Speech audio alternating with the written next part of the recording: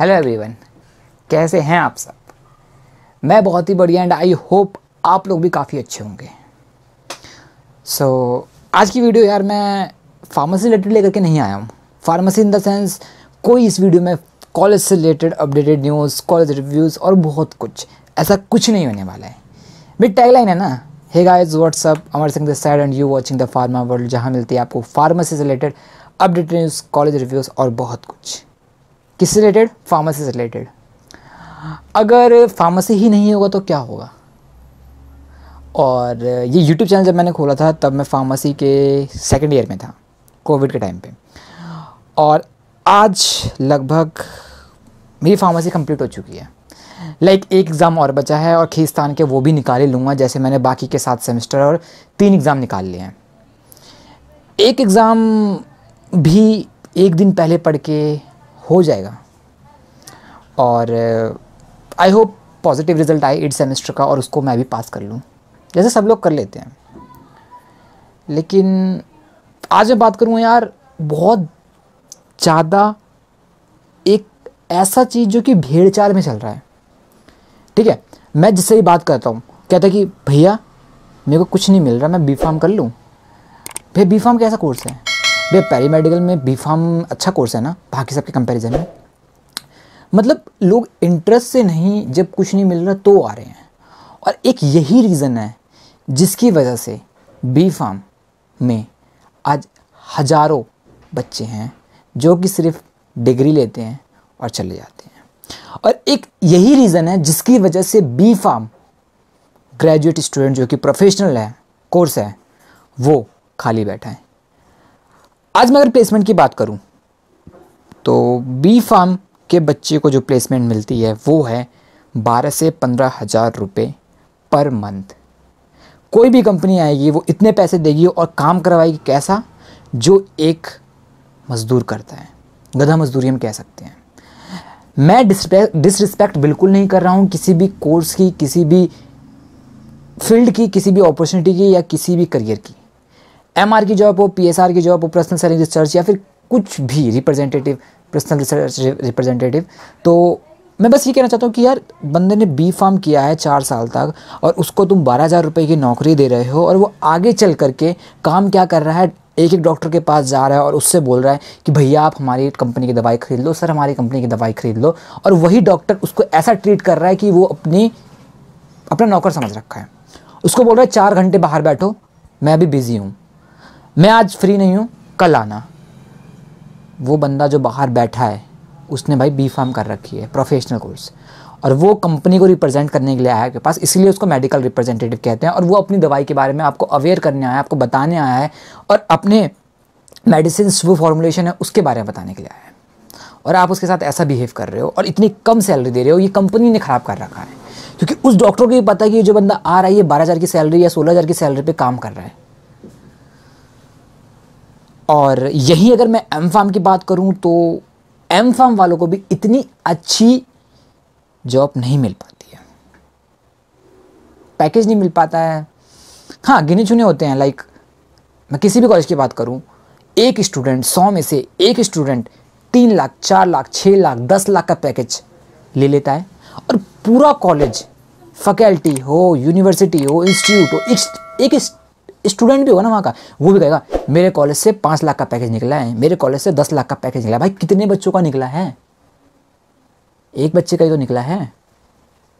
बाकी के जो निन्यानवे बच्चे, उनका क्या? बाकी के जो उनसठ बच्चे, उनका क्या? उन्होंने कितना, कितने का पैकेज लिया? या उनके कंपैरिजन में ये तीन लाख का जो पाँच लाख का पैकेज ले रखा है, इसमें ऐसी क्या क्वालिटीज़ है?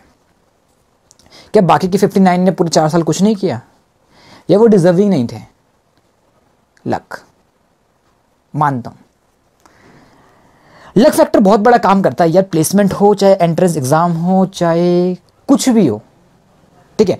बट यार, मैं अपनी वीडियो से बस ये बताना चाहता हूँ कि अगर आपको बी फार्म में इंटरेस्ट नहीं है तो प्लीज़ इसके अंदर मत आओ।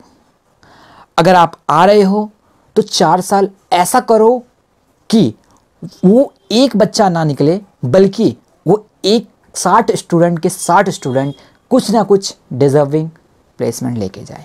एक प्रोफेशनल कोर्स हम बी फार्म कर रहे हैं तो हमें बीटेक वाले स्टूडेंट्स की तरह ट्रीट किया जाए, उस तरह के पैकेज दिया जाए।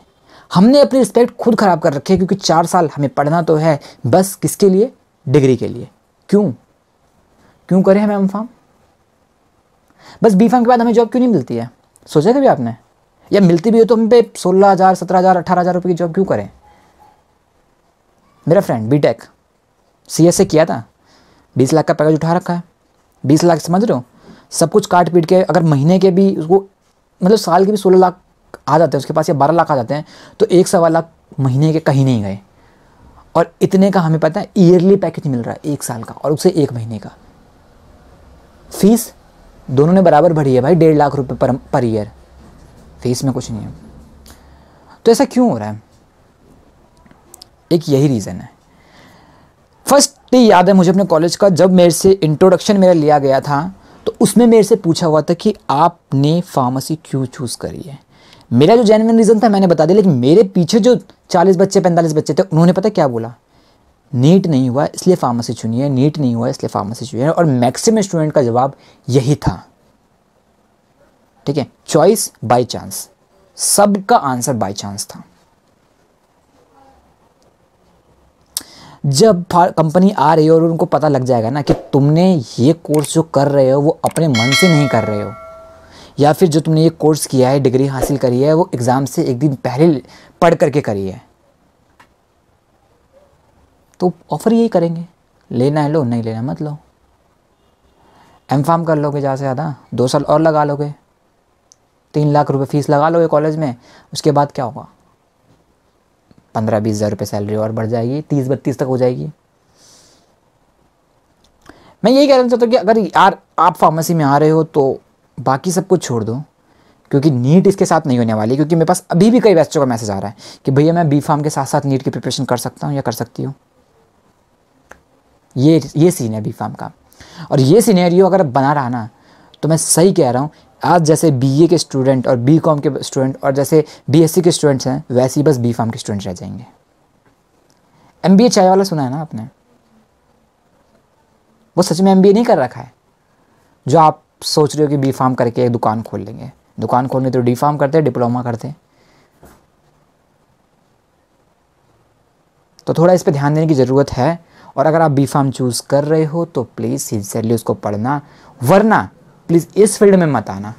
मैं खुद को और मेरे साथ में जितने भी इस चैनल पे जुड़े हुए हैं, मेरे सारे सब्सक्राइबर्स उन सबको मैं यही इन्फॉर्मेशन देना चाहता हूँ कि अगर आप ट्वेल्थ के बाद, क्योंकि मेरी वीडियो या तो ट्वेल्थ का स्टूडेंट देखता है जो पास आउट जस्ट हुआ है एडमिशन लेने वाला है, या जो बी फार्म कर रहा है, या बी फार्म पास आउट हो चुका है।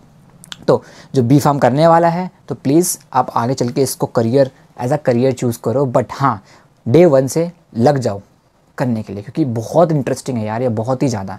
अब रियलाइज़ हो रहा है मुझे फोर्थ ईयर में आने के बाद कि काश मैंने फ़र्स्ट ईयर से कुछ किया होता। और करियर स्विच करने का तो मेरा यार अलग ही ऑप्शन है, क्योंकि मैं को फार्मेसी में इंटरेस्ट नहीं आ रहा, और जैसे मैंने आपको बताया, जहाँ इंटरेस्ट नहीं, वहाँ आपको जाना नहीं। तो छोड़ देते हैं फार्मेसी कर लेते हैं कुछ और।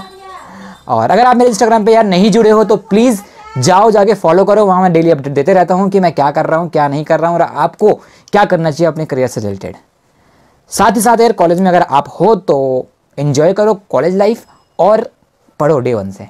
मिलते हैं नेक्स्ट वीडियो में नए कंटेंट के साथ। तब तक ले बाय बाय टेक केयर और एंड में यही बोलूँगा ऑल द बेस्ट जो भी फ़ील्ड आप चूज़ कर रहे हो बी फार्म आई या कुछ और। बाय